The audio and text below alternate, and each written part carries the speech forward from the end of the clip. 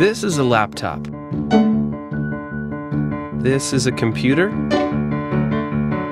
This has the web. That's weird.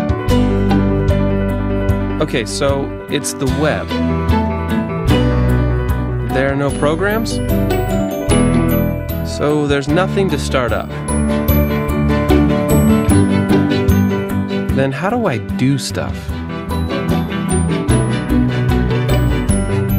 There's no messy desktop?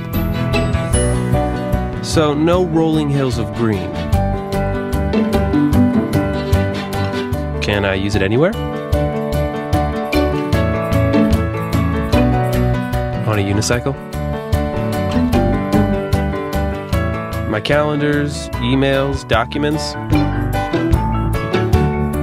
Everything can be saved to the web. That's crazy. So I could throw this thing into a river. And I won't lose my stuff? It doesn't need virus protection.